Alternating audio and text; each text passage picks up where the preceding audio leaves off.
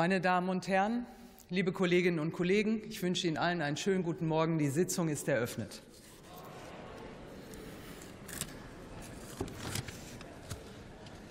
Morgen. Guten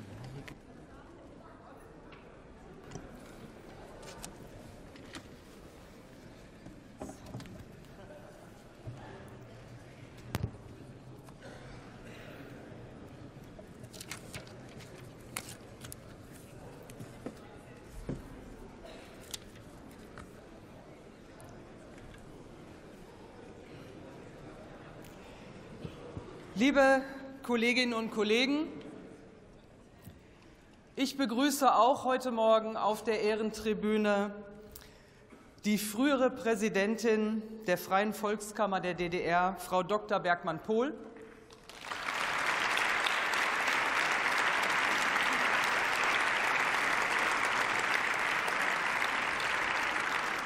sowie den früheren Bundestagspräsidenten Dr. Wolfgang Thierse.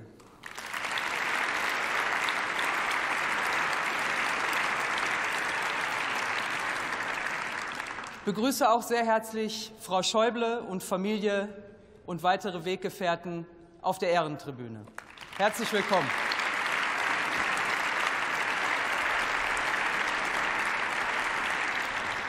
Liebe Kolleginnen und Kollegen, der 13. Dezember 1972 ist ein besonderes Datum in unserer Geschichte.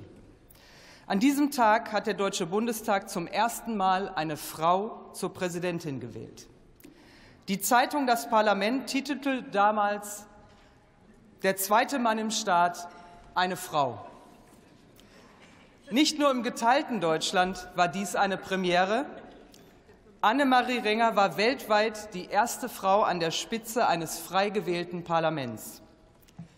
Liebe Kolleginnen und Kollegen, die Wahlbeteiligung lag 1972 bei traumhaften 91,1 Prozent.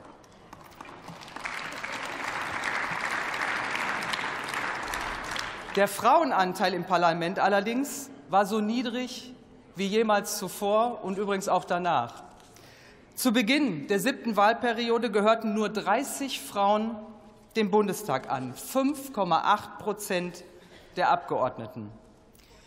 In ihrer Antrittsrede sagte Annemarie Renger, die Wahl einer Frau für das Amt hat verständlicherweise einiges Aufsehen erregt. Das Erstmalige und mithin Ungewohnte gerät in die Gefahr, zum Einmaligen und Besonderen erhoben zu werden. Zitat Ende. In der Tat dauerte es zwölf Jahre, bis Rita Süßmuth, eine Frau, wiederum an der Spitze des Bundestages war. Und nach Rita Süßmuth dauerte es sogar 23 Jahre bis zur dritten Bundestagspräsidentin. Heute nehmen Frauen selbstverständlich ihren Platz in der Politik und in der Gesellschaft ein. Und das verdanken wir auch der parlamentarischen Pionierarbeit von Annemarie Renger.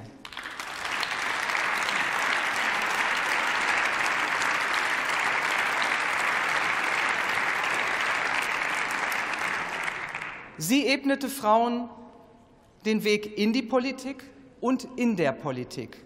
Annemarie Renger nutzte ihre Stellung als Bundestagspräsidentin, um, wie sie selbst sagte, der Sache der Frauen zu dienen. Sie wusste, politisches Engagement und Familienleben lassen sich nur vereinbaren, wenn die Rahmenbedingungen passen. Das gilt auch heute und nicht nur im Parlament. Für Annemarie Renger gehörte dazu, den Frauen der Bundestagsverwaltung die Vereinbarkeit von Familie und Beruf zu ermöglichen. Die Eröffnung der Bundestagskita im Jahr 1970 geht auch auf Ihre Initiative zurück. Liebe Kolleginnen und Kollegen, der Frauenanteil ist mit knapp 35 Prozent auch im aktuellen 20. Bundestag zu niedrig.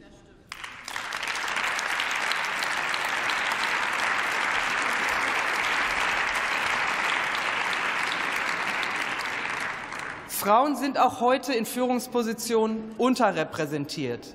Sie verdienen oft weniger, sie leisten mehrheitlich die Care-Arbeit mit allen Folgen. Der Weg zur echten Gleichstellung ist noch weit. Annemarie Renger kann uns aber mit ihrer Beharrlichkeit Vorbild sein. Liebe Kolleginnen und Kollegen, Annemarie Renger wurde 1919 geboren, im Jahr der Einführung des Frauenwahlrechts. Ihr sozialdemokratisches Elternhaus stand in Opposition zum Nationalsozialismus. Nach dem Zweiten Weltkrieg wurde Kurt Schumacher ihr politischer Mentor und Vertrauter. 37 Jahre gehörte sie dem Deutschen Bundestag ununterbrochen an. Sie war die erste parlamentarische Geschäftsführerin der SPD-Fraktion, vier Jahre Bundestagspräsidentin und 14 Jahre Vizepräsidentin. Ihr half dabei, dass sie eine gehörige Portion Selbstbewusstsein besaß, wie sie sagte. Als Abgeordnete behielt sie immer ihren eigenen Kopf, nicht immer zur Freude ihrer Fraktion. Den Deutschen Bundestag führte sie souverän, mit natürlicher Autorität und mit Charme. Annemarie Ringer hat nicht nur bewiesen, dass Frauen es können, sie prägte die damalige Politik in vielen Fragen. Sie führte Bürgergespräche im ganzen Land, sie trieb die Parlamentsreform voran, sie etablierte den wissenschaftlichen Dienst des Deutschen Bundestages, sie stärkte das Petitionswesen und intensivierte die Arbeit der Enquete-Kommission. Ihre Herzensangelegenheit war die Aussöhnung mit Polen und Israel. 14 Jahre lang leitete sie die deutsch-israelische Parlamentariergruppe. Der glücklichste Augenblick ihres politischen Lebens war aber für sie der 9. November 1989, als die Nachricht vom Fall der Mauer sich verbreitete, leitete sie gerade als Vizepräsidentin die Beratung im Bundestag in Bonn. Liebe Kolleginnen und Kollegen, Annemarie Renger war als Bundestagspräsidentin auch deshalb so erfolgreich, weil sie einen feinen Humor besaß. In ihrer Antrittsrede würdigte sie die jungen Abgeordneten mit folgenden Worten.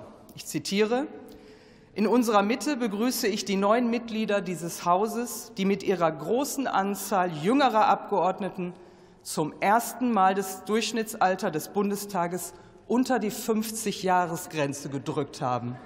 Zitat Ende.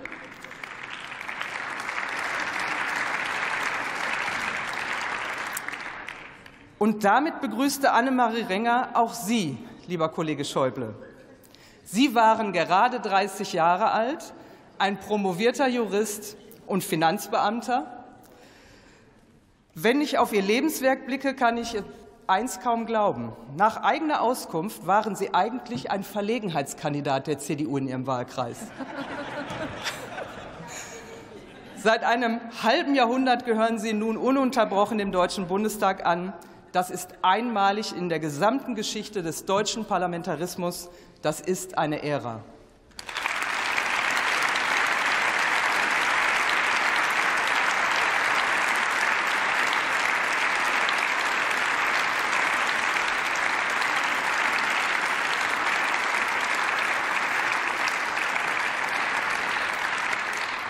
Sie haben sogar August Bebel übertroffen, der nur 44 Jahre Reichstagsabgeordneter war.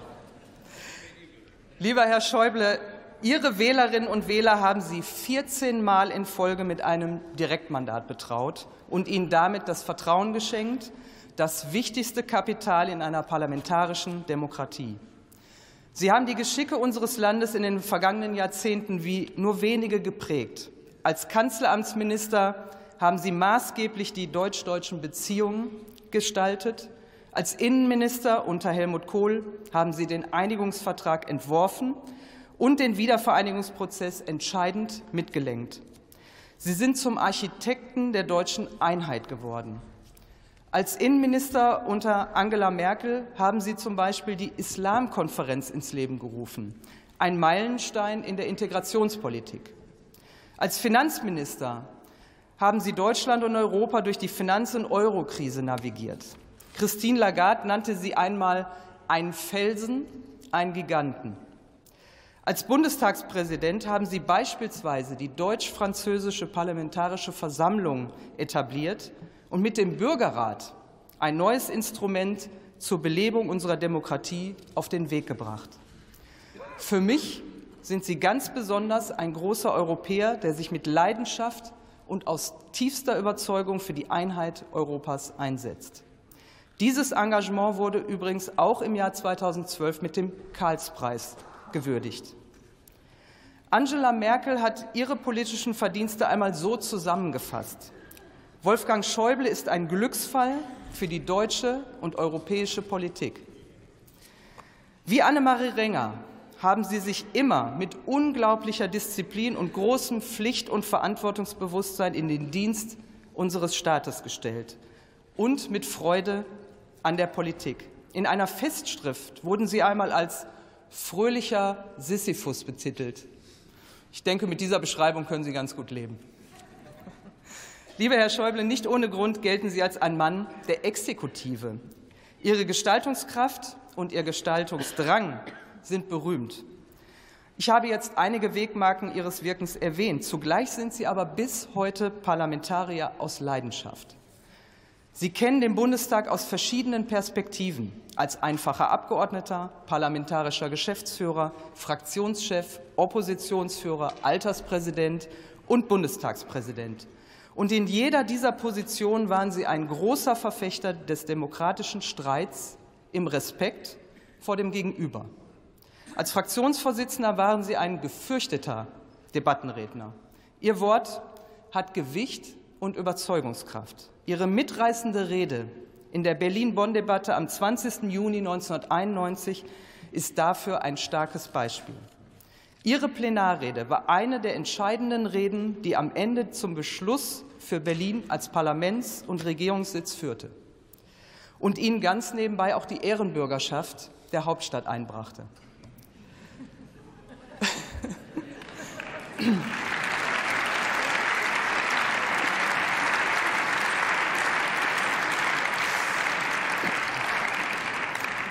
Streit ist das Salz der Demokratie. Das war immer Ihre Devise.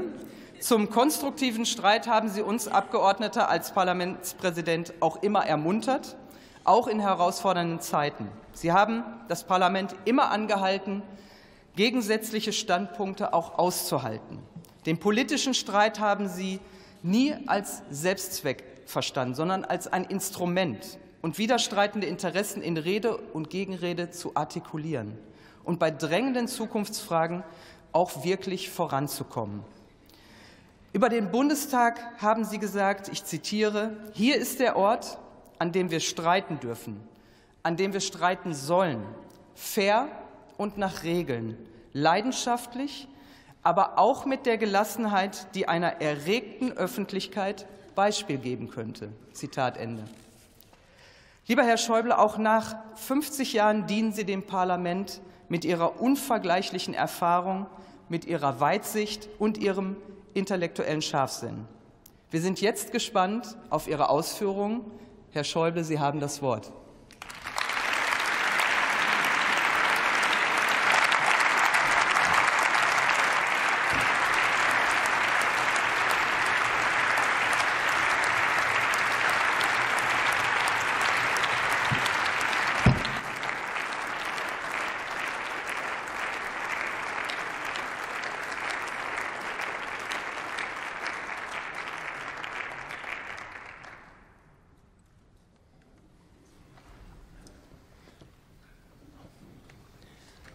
Präsidentin, verehrte Kolleginnen und Kollegen, meine sehr geehrten Damen und Herren!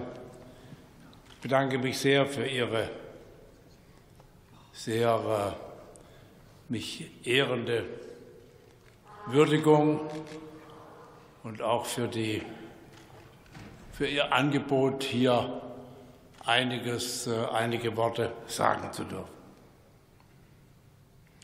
Annemarie Renger war eine allseits respektierte Bundestagspräsidentin. Sie haben sie zu Recht eben gewürdigt. Annemarie Renger achtete streng auf die Würde des Hauses, so wie man sie damals verstand.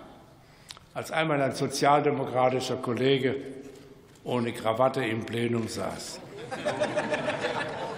Da ließ sie ihm durch einen Parlamentsassistenten unauffällig einen Binder bringen, und der hat ihn auch widerspruchslos angelegt.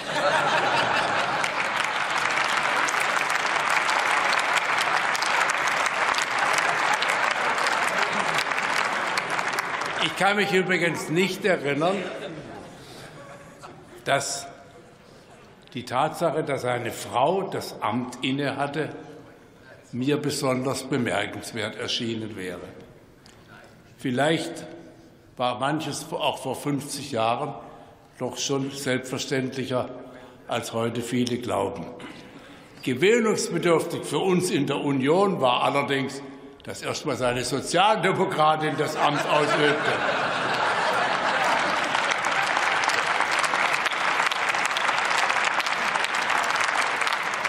Aber das ist ja heute auch keine Besonderheit mehr.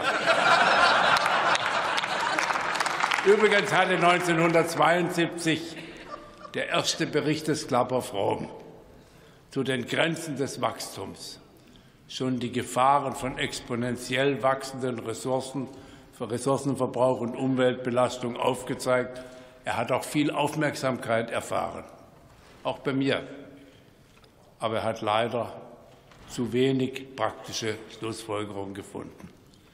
Auch deswegen verstehe ich, warum die junge Generation heute so drängt.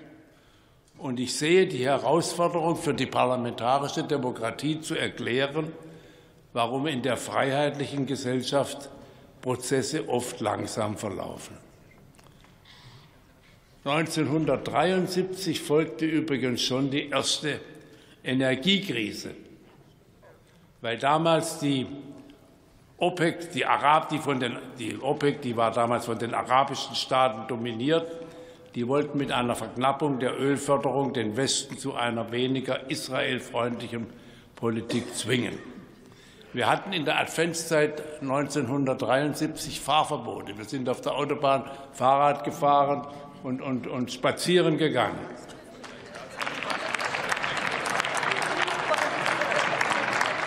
Der Einspar beim Ölverbrauch war übrigens auch damals gering. Meine Partei, meine Partei hatte im Wahlkampf 1972, Sie haben eben noch die Wahlbeteiligung äh, zu Recht erwähnt, äh, vor allem die ansteigende Inflation mit ihren Gefahren für Wachstum und Beschäftigung thematisiert.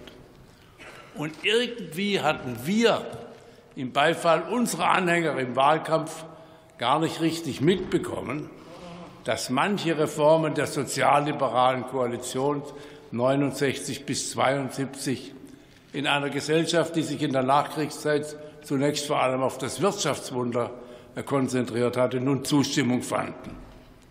Und vor allem hatten wir nicht verstanden, dass die Fortschreibung der Westintegration mit der neuen Ost- und Deutschlandpolitik der begrenzten Zusammenarbeit unter der Überschrift Wandel durch Annäherung nicht nur mit dem Friedensnobelpreis für Willy Brandt, sondern auch mit wachsender Zustimmung in der öffentlichen Meinung honoriert wurde. Man sieht, auch wenn heute alles ganz anders zu sein scheint als vor 50 Jahren, so ist doch auch nicht alles ganz neu. Nach meinen Erfahrungen bin ich mir übrigens auch nicht so sicher, dass aus Anfang idealistischem Protest, wenn er anfängt, zu strafbaren Mitteln äh, zu greifen, nicht auch schlimme Entscheidungen und Entwicklungen entstehen können. Und deshalb ist es gut, wenn unsere zuständigen Behörden hier auch hier den Anfängen wehren. Auch wenn sich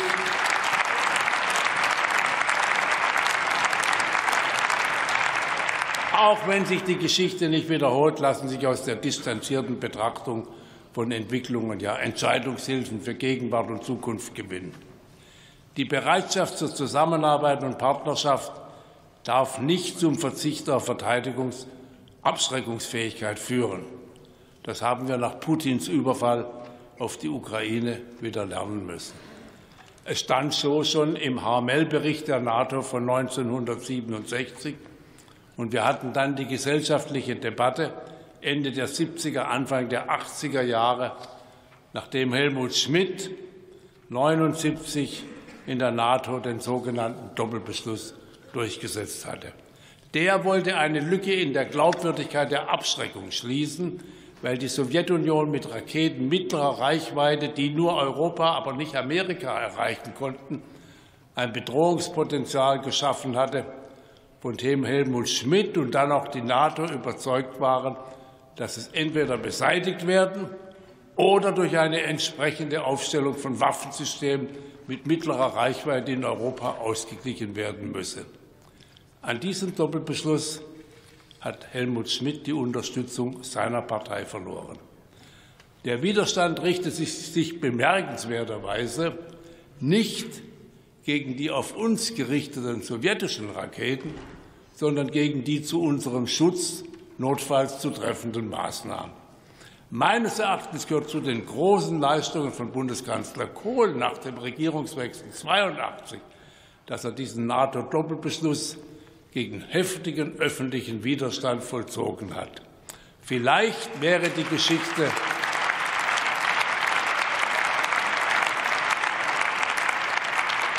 Vielleicht wäre die Geschichte mit Michael Gorbatschow ohne diese Entscheidung anders verlaufen. Jedenfalls hat uns Putin jetzt gezeigt, dass wir auch im 21. Jahrhundert den Frieden nur sichern können, wenn wir auch in der Lage sind, uns gegebenenfalls zu verteidigen.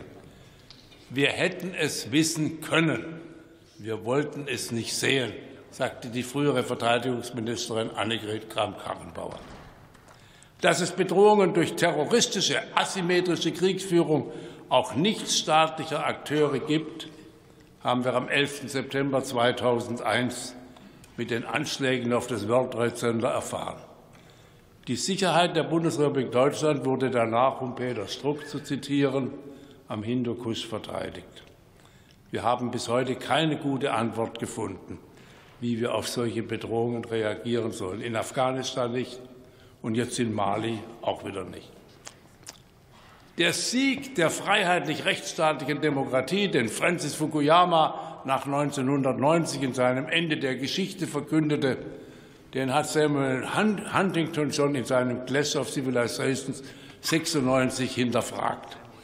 Und noch immer suchen wir nach dem richtigen Maß an Respekt vor unterschiedlichen Kulturen, Traditionen und Wertvorstellungen einerseits und unserer universalen Verantwortung für Menschenrechte andererseits. Jedenfalls haben wir im Vergleich zu 1972, als für uns in Europa die Polarität des Ost-West-Konfliktes alles andere zu überlagern schien, die größere Vielfalt und zugleich die größere Vernetzung globaler Strukturen lernen müssen. Und wir sehen im Übrigen, dass wir uns in Deutschland und in Europa sehr anstrengen müssen, wenn wir unseren eigenen Ansprüchen im globalen Ranking auch nur einigermaßen gerecht werden wollen. Vielleicht müssen wir Deutsche auch aufpassen, dass wir nicht als Besserwisser, die ihren eigenen Ansprüchen selbst nicht gerecht werden, international zu viel Sympathie verlieren.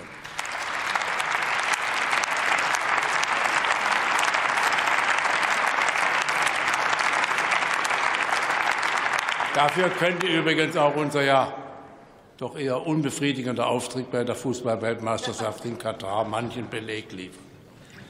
Verändert hat sich jedenfalls die öffentliche Kommunikation die sich aus den Print- und elektronischen Medien viel stärker in soziale Netzwerke verlagert hat, mit all den Gefahren für die Stabilität unserer freiheitlich-demokratischen Grundordnung, die wir ja fast überall in der Welt, wo es solche Demokratien überhaupt gibt, beobachten müssen. Das Vertrauen in die Fähigkeit von Politik, Probleme zu lösen, sozialen Zusammenhalt zu gewähren, einen verlässlichen Rahmen und ausgewogenen Rahmen für Freiheit und Sicherheit zu gewährleisten, das nimmt offenbar ab, je mehr wir uns bemühen, jedes einzelne Problem noch besser, noch perfekter zu lösen. Ich weiß nicht, wie viele Entbürokratisierungskommissionen und Initiativen wir in diesen 50 Jahren hatten.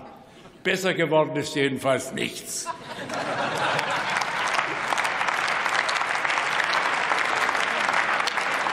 Föderalismuskommission hatten wir zwei ganz groß angelegte zwischen Bundestag und Bundesrat und Bundesregierung. Aber niemand behauptet ernsthaft, dass die föderale Ordnung unseres Landes, die ja im Grunde weitgehend unbestritten ist, mit Bund, Ländern und kommunaler Selbstverwaltung derzeit in guter Verfassung sei. Ich will mich mit ungebetenen Ratschlägen wirklich zurückhalten. Das habe ich mir in meiner Alters- und Mandatszeit begründeten Sonderrolle vorgenommen. Deshalb will ich Ihr freundliches Angebot, Frau Präsidentin, heute einige Worte, was in diesen 50 Jahren äh, sich, wie die Entwicklung war. Ich will das nicht missbrauchen, aber vielleicht ein Gedanke.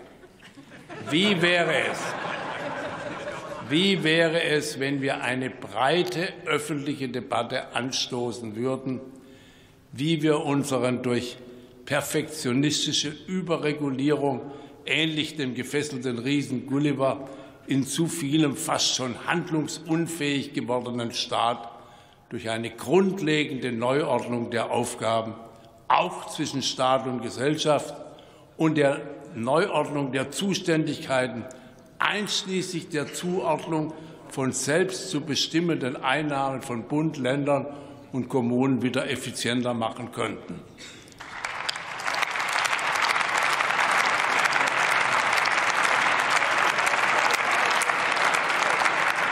Die, die, die, Nationale Akademie der Wissenschaften Leopoldina und die Berlin-Brandenburgische Akademie der Wissenschaft haben vor kurzem einen interessanten Anstoß gegeben. Den könnten wir aufgreifen. Und dann könnten wir auf diesem Weg einer wieder als handlungsfähig wahrgenommenen Politik auch das Verständnis der Bürger fördern, dass Demokratie eben, wie kürzlich ein Autor äh, geschrieben hat, eine Zumutung ist und nicht ein Supermarkt für Schnäppchenjäger.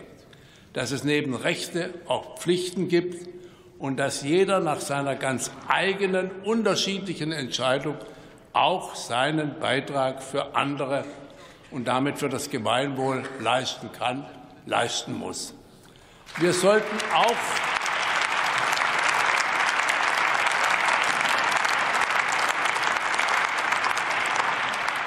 Wir sollten auch gerade in dem jetzt so oft beschriebenen Wettbewerb der Systeme bedenken, dass bei all unseren Schwächen die Grundwerte unserer freiheitlich-rechtsstaatlichen Ordnung sich fast überall da auf der Welt, wo diese Werte nicht verwirklicht sind, so großer Anziehungskraft erfreuen, dass die Unterdrückten sich danach sehnen, ihr Leben riskieren, um es vielleicht sich zu erkämpfen, und dass die Diktatoren genau diese Anziehungskraft fürchten.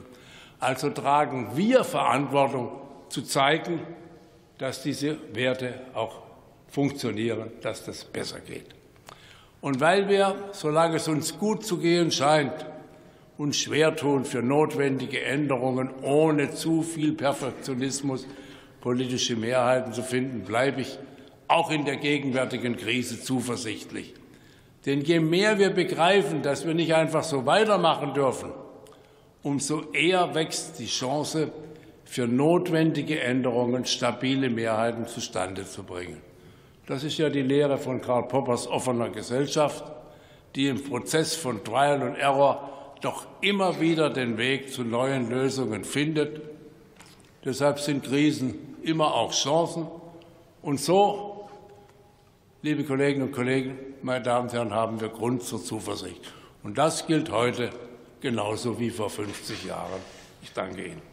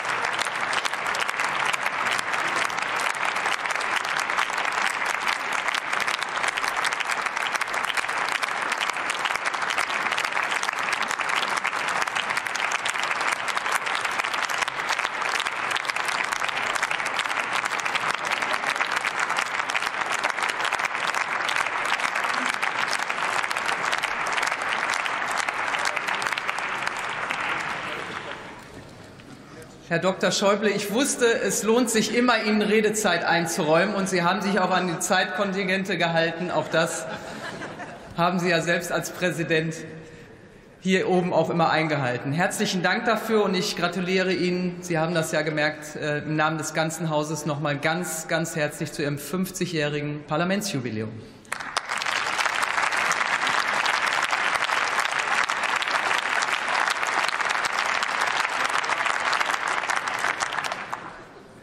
Und wie das Leben so spielt, steigen wir jetzt in die Tagesordnung ein. Da, interfraktionell ist vereinbart worden, heute bei den ohne Debattenpunkten noch die Sammelübersichten zu Petitionen auf den Drucksachen 4.925 bis 4.939 aufzurufen. Am Freitag ist nach interfraktioneller Vereinbarung vorgesehen, zu Beginn der Tagesordnung in zweiter und dritter Lesung den Entwurf eines Gesetzes für einen besonderen Schutz hinweisgebender Personen sowie zur Umsetzung der Richtlinie zum Schutz von Personen, die Verstöße gegen das Unionsrecht melden, mit einer Debattendauer von 39 Minuten zu beraten. Die weiteren Tagesordnungspunkte der Koalitionsfraktionen rücken entsprechend nach hinten, wobei Tagesordnungspunkt 24 nunmehr mit einer Debattendauer von 39 Minuten beraten werden soll. Ich gehe davon aus, Sie sind damit einverstanden. Ich sehe keinen Widerspruch. Dann ist das so beschlossen.